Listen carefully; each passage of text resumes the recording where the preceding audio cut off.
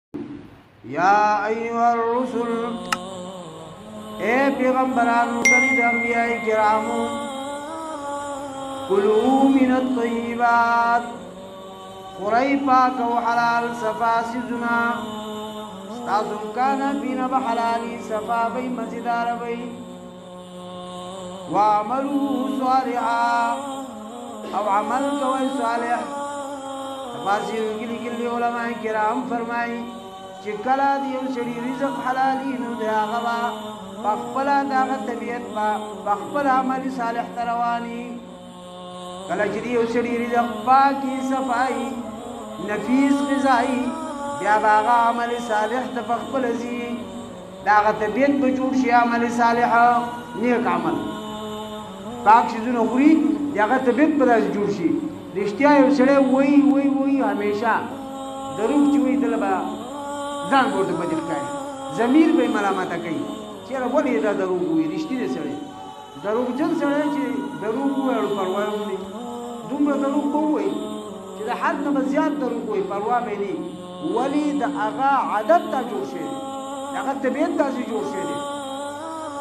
نو الله وایي کلو من الطیبات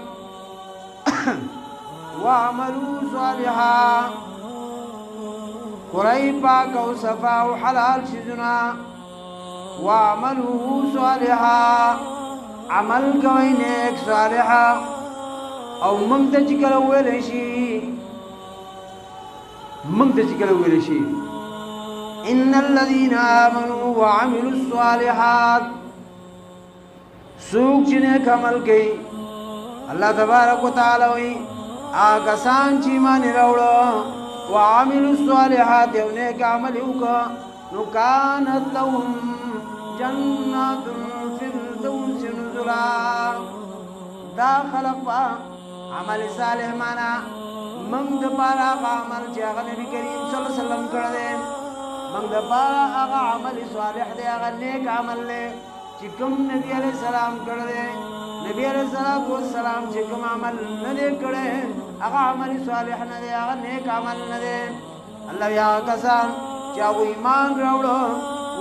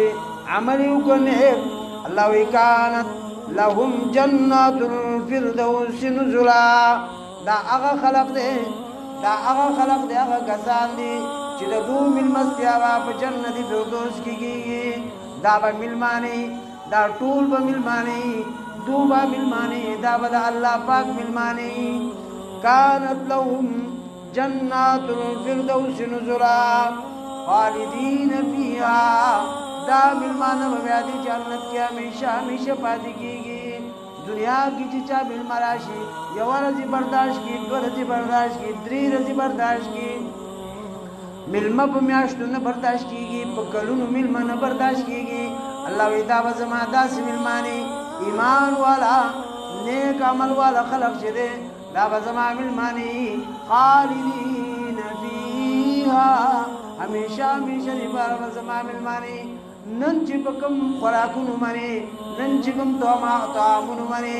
نن چې په کومې طریقې مل مستیا وشولا سبا به دین زیاتې